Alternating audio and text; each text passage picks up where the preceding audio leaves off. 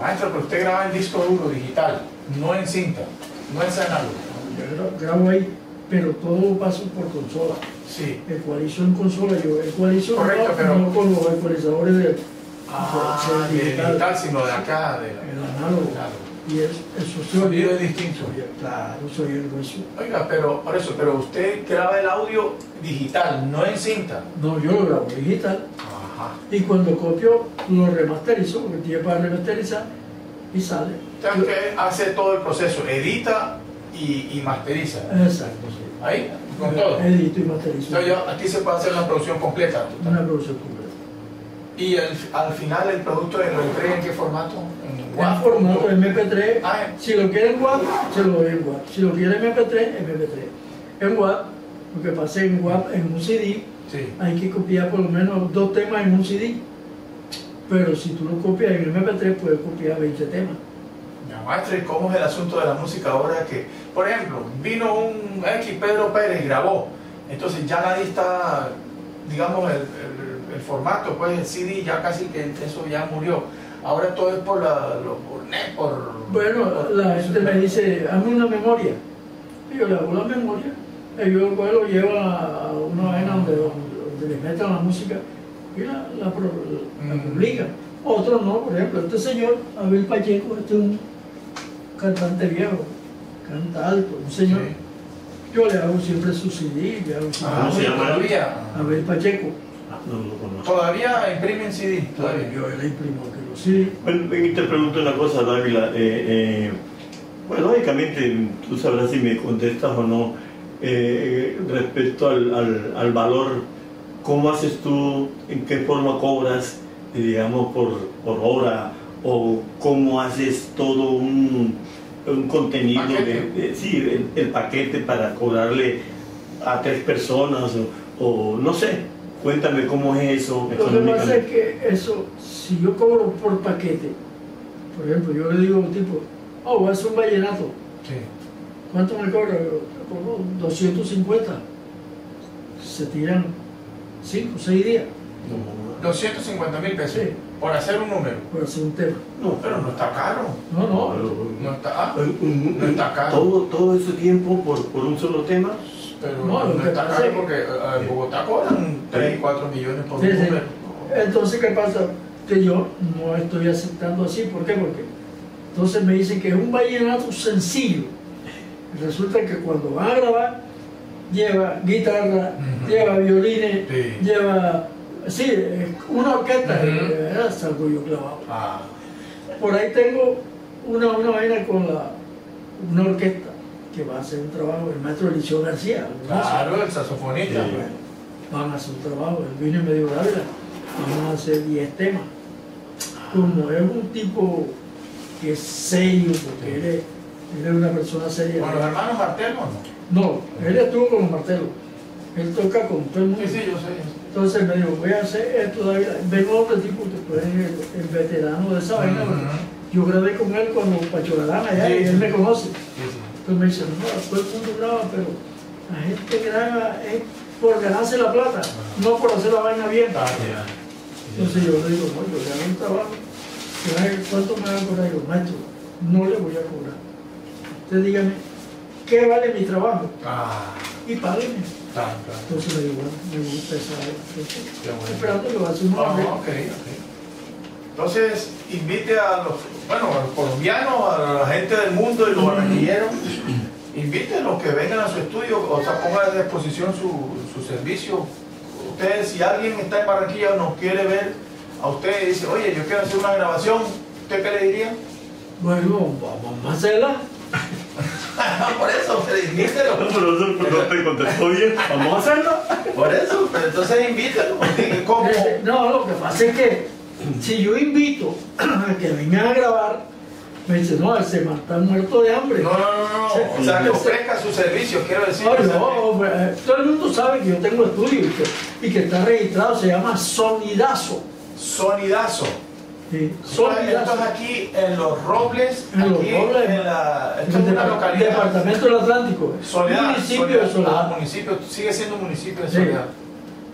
Ajá. Entonces, ¿qué pasa? De que eh, la gente viene, me buscan ellos, Mira, yo me mudé para acá hace 17 años, con el ánimo de retirarme de la música. Me vine para acá huyendo porque eso era la gente así. Sí. Eh, Te, te cuento, Daniel Celedón y Jorgito Celedón Sí. se sentaban en la puerta de mi casa a esperar turno para grabar Vaina ahí, eh, cuando yo vivía en el circunvalar. Que lo- lo- lo- los hermanos Lora, que lo, este, los que cantaron la sirena. Cuentan Ah, sí, un barco González, González. No, No. Sirena, bien, no. No. Pues sí, entonces trabajaba como el carajo. Cuando me mudo para acá, yo aquí no voy a poner tú. Pero duré un mes Mm. Sin trabajar. Un, día estoy sentado en la, en la- en la terraza cuando pasa David Enrique. ¿Ha oído hablar de David Enrique? No, yo no. Eh, él, traba- él está con Saico. Él cantó, él cantó varios discos de, de José Vázquez y, y pegó. Él andaba a la, a la par del binomio en ese entonces, en el año 83. Pases, "Joda, te estoy buscando porque allá donde, donde vivía, me dijeron, él vive por allá por Soledad. He, he pasado como 50 veces y ahora te veo en la sala, ¿verdad? quiero el estudio, necesito grabar. Eh, nada más fue que yo le digo, mira, tengo el estudio, está desarmado esa vaina. Móntalo, que vamos a grabar. Le dice el Don Play. No. Nada más fue que yo le grabara eso a Don Play y empezó a llegar la gente. Porque él empezó a decir, No, pero te da vida, esta vaina te da vida. claro, claro. Pues puedes calmarlo, pero, pero te da vida. Usted está solo aquí, maestro, todavía, entonces usted conoce todo el, el funcionamiento de todo esto. Y... claro, Eso yo- esta vaina yo la desarmo y la Sí, nada claro, claro. Maestro, le agradecemos mucho y ya finalmente vamos a, a ver aquí un- los artistas que usted ha grabado, entre otros, entre muchos, sí. ahí como para ir cerrando y... Maestro, mil gracias. Ento- ah, bueno, pero entonces no le dijo a los... Sí, ya le dijo que era... Sí, sí, eh, Pueden están- venir aquí. están a la orden Ah, aquí en el barrio ¿Usted de tiene algún contacto, algún correo, algún- no sé, quisiera... Todos, todos conocen mi teléfono. No, bueno, está bien. Entonces, maestro, pues mil gracias. eh, ¿Cómo, ¿Cómo me levantó usted? ¿Cómo le- Bueno, ya, Alguien le dio mi- teléfono. Sí, bueno, sí, por medio de, De Pocho. Pocho Pérez, el cantante de, de Pacho Balán, y de el mismo de Drip, de, de- El dripe, sí, de Pedro Tapia. Pedro Tapia, Pedro Tapia Reales, sí. Somos muy amigas, que nosotros somos músicos, colegas. Entonces uno ahí, yo, generalmente cuando venimos, nosotros vivimos, Ronnie y yo vivimos en Bogotá, pero somos costeños, somos del Caribe. Pero siempre hemos sido inquietos en, en la investigación y, y entrevistar a personajes así mayores, que, para que no se pierda la, la memoria, la- todas esas cosas. Entonces teníamos eso pendiente, eh, tenemos cosas afines. Entonces vamos a ir finalizando para ver aquí la- el listado de algunos de los grandes artistas que Bueno, la toma que puedas hacer Sí. ahí. bueno amigos, ya vieron, pues eh, entonces los que quieran venir a grabar aquí eh, con el maestro Eduardo Dávila Santiago, el ma- ¿cómo le dicen ustedes? El mago de la el, el, el mejor sonido de Colombia. el sonido de Colombia. Yo sé que ahora me puso Daniel Celedón que grabó un disco y que el caballero de los éxitos. ya, bueno, yo sé que usted lo mencionaba hasta este Don Lisandro Zé- Mesa. Ah, Don Zé Gutiérrez, Lisandro Mesa, claro. la Ana Emilia. Ah, también. Álvaro Pava, Adolfo Echeverría, toda esa gente siempre me, en un disco me dice, vamos a nombrarte Dávila, porque tú tienes suerte. Ah. Si me nombran. No, pero eso está bien. Si en, el, en Fru- allá también, ah, mucho, mucho de las consolas. ¿no? Pero imagínense cómo se hace la música si no es con, Eh, con la mano de. O sea, ¿cómo? Oye, oye eh, Dávila, tú tuviste estudio de estas, mm, de, de estas cuestiones electrónicas y del sonido y todo eso, tuviste estudio o, o- o lo fuiste adquiriendo así. Yo cuando yo me retiro de Felito en el año 95, con la liquidación compré mis aparaticos Ah. Porque es que Felito se viene abajo, lo cierran. ¿Entiendes? Entonces Mm, a mí me dan una plata y ya yo estaba listo para que me dieran mi pensión.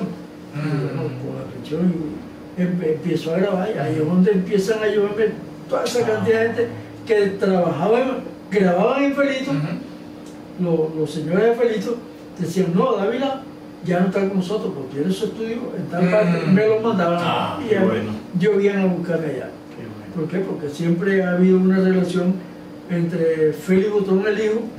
Ah, la señora Marina y yo, pues, porque ellos me consideran a mí.